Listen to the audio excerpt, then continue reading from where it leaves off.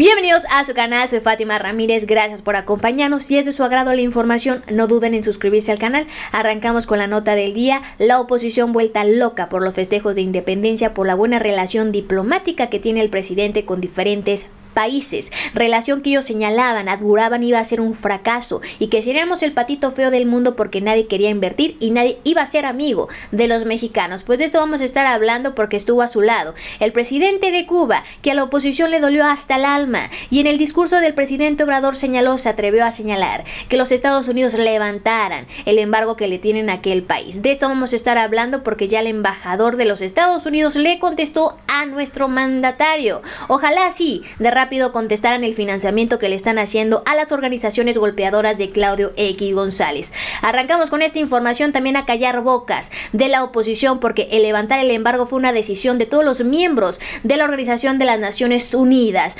Arrancamos con esta información y dice lo siguiente. Indignante lo que contestaron los gringos. El presidente Obrador es un humanista. La política de México va más allá de nuestras fronteras. Queremos el bien de todos los países latinos, de los caribeños. Porque si el mundo está bien, México también. Una cosa que los gringos no quieren aceptar. Porque siempre utilizan el argumento, pero para intervenir, para pisotear naciones. Esto fue el fuerte discurso que dio el presidente Obrador. Vamos a escuchar. Ojalá que el presidente Biden, quien posee suficiente sensibilidad política,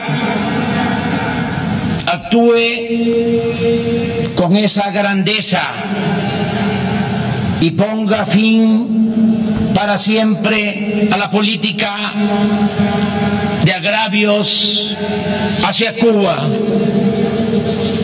En la búsqueda de la reconciliación también debe ayudar la comunidad cubano-estadounidense, haciendo a un lado los intereses electorales o partidistas.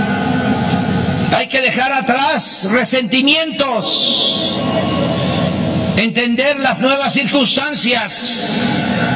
Ese fue el discurso del presidente Obrador que voló por todas las fronteras el primer presidente que se atreve a decirles en un discurso, en un día tan importante para todos los mexicanos. Ahora, el canciller Marcelo Ebrard había señalado que esta conferencia, esta cumbre que tendrán con todos los países y caribeños, no se trata solamente de conseguir vacunas. Señaló que no se trata solo de los temas políticos importantes como la paz, sino de aquellos que tienen que ver con la vida cotidiana de las personas, de los países que formamos la CELAC. Por eso el presidente está invitando y tiene todos estos vínculos con diplomáticos. Ahora vamos a escuchar lo que le dijo el embajador estadounidense a nuestro país. México no debe distraerse sobre bloqueo económico a Cuba. ¿Cómo lo ven? Vamos a escuchar esta declaración tan indignante.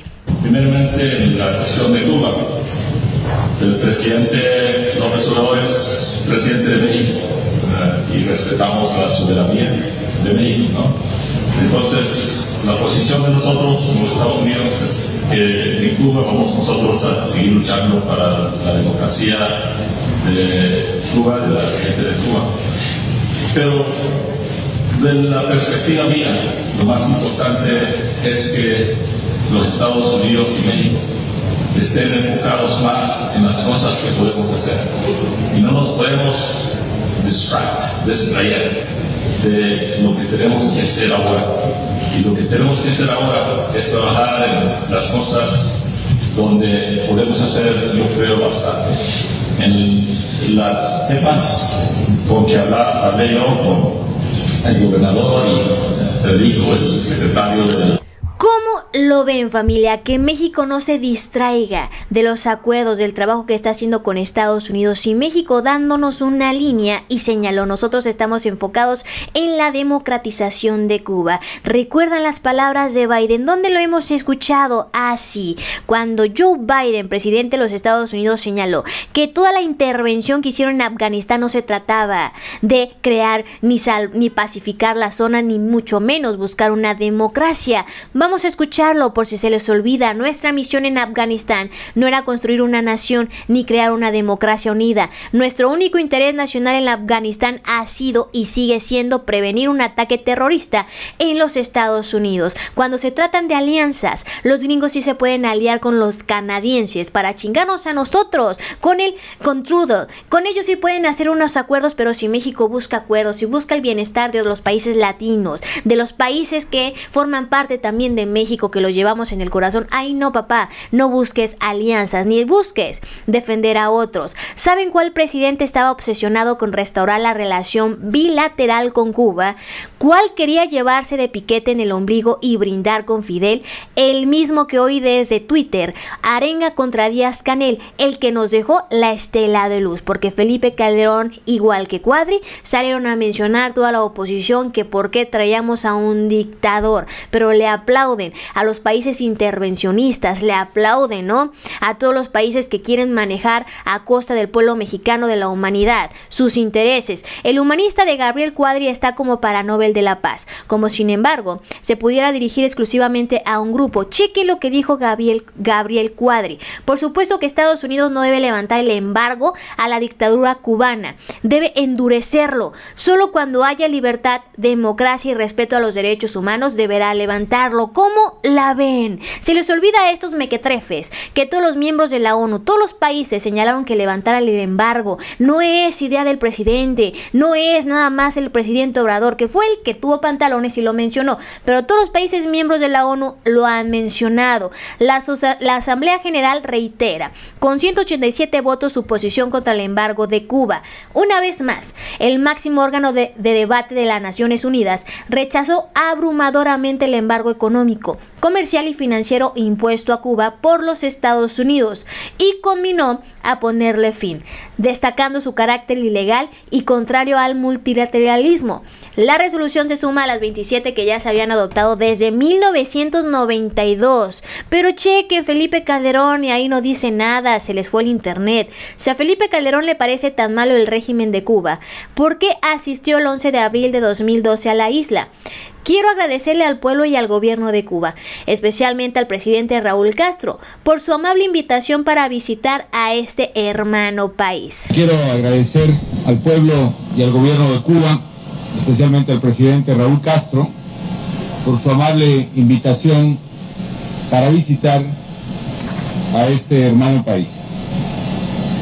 Mi visita obedece y corresponde fundamentalmente a la cercanía a la amistad y a la hermandad que existe entre el pueblo de México y el pueblo de Cuba. Y por eso, como presidente, es para mí un honor visitar oficialmente esta isla, este país, estar en la tierra por el que dieron su vida el gran poeta y libertador José Martín, el extraordinario general Antonio Maceo. Y durante esta visita nos proponemos refrendar al pueblo cubano el respeto y la amistad del pueblo mexicano. Hipócritas son lo que son el priista Peña alabando a la revolución cubana en 2016 en homenaje a Fidel Castro ante Raúl Castro y Nicolás Maduro. ¿Qué pensarán los, los y las panistas que ahora están en alianza con el PRI? Fidel y Raúl encontraron protectores y simpatizantes en nuestro territorio quienes los cobijaron y respaldaron en su causa. Fue así como en México se germinó la gesta de la revolución cubana que habría de cambiar el curso de la historia. Un 26 de noviembre, casi en la misma fecha en que falleció Fidel Castro, pero de 1956, pues ahí lo tienen familia, a ver oposición, son o no son, están o no están, son de izquierda, son de derecha, defínanse. No se trata de criticar por criticar, no se trata de difamar por difamar. Si el presidente hace una cosa bien como oposición deben de reconocer y deben de aportar, dejen de estar dividiendo a la nación, dejen de estar difamando, de echando mentiras. El pueblo mexicano no es tonto, sabemos diferenciar, ahí están las pruebas. El tema de levantar el embargo no solo fue del presidente, fue todas las Naciones Unidas. Incluso recuerden cuando el presidente de Rusia, la presidenta de Alemania se reunieron y señalaron que ningún país debe de ser intervenido alegando que otro va a democratizar, alegando que otro lo va a salvar. Dejen de estarse haciendo bolas, pelotas. Y ahí están las pruebas. Familia, si les gustó la información, ya lo saben, suscríbanse a este canal. Soy Fátima Ramírez y nos vemos hasta la próxima.